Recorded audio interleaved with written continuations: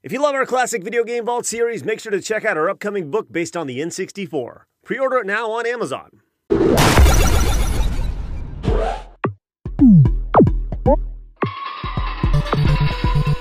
lot of people don't know this unless you're an old school G1, but Castlevania was actually the first ever game put in the Video Game Vault way back in 2006. So I thought with this special run of the Vault to celebrate our new Video Game Vault book, it would be a great time to revisit it.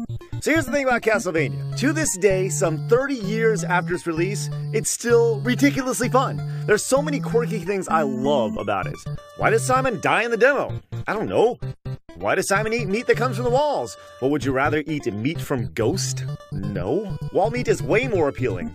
And how do I know these guys are ghosts? Well, be- because they're white and they got their hands up. Whoa! Holy shit! Those aren't ghosts.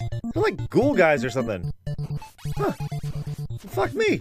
The point is that this footage is beautifully upscaled to HD. But back in the day, you pretty much had to guess what the bad guys were. I mean, Shit, literally up until recording this very vault, I thought these dudes were monkeys. People even would tell me, Craig, those are fleamen. And I was like, whatever, those are monkeys. I mean, go back and watch the first vault. I literally thought those were monkeys. I hate monkeys. But now, with wonderful HD upscaling, yeah, I can see it. They look like dudes. You ready for another beautiful thing about Castlevania? It's story. Yep, I mean, that's it. Dude walks up to a castle and it's go time. And as you make your way through the game, whipping the crap out of candles and bad guys, you get hearts and money to give you points. Now, points are a thing of the past in video games, but have you ever just stopped and think about why points were in Castlevania and other single player old school games? I mean, any guesses? You back there? No? no? It's because you were playing against yourself. You're trying to get better every time you play, and one of the best ways to gauge your success outside of how far you got in the game is by your score.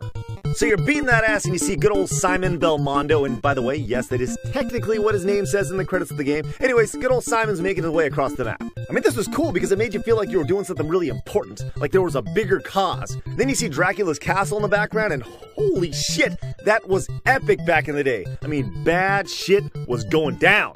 Like when you fought the Grim Reaper. I mean, look at this. How the hell is this fair? I mean, you walk in and you get bombarded by sickles just looking for your butt to sick I, I, guess. Like, what?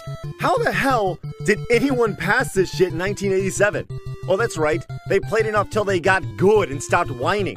And fuck you, Grim Reaper. Look, despite the absolute cruelty of Castlevania and how much I just despise the Grim Reaper fight, if you were to look up the word classic in the dictionary, you'd find a picture of Super Mario Bros. 3. But right next to it, close to it, yeah, would be Castlevania.